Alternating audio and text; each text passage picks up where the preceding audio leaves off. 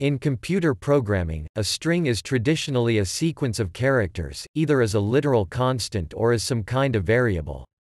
The latter may allow its elements to be mutated and the length changed, or it may be fixed.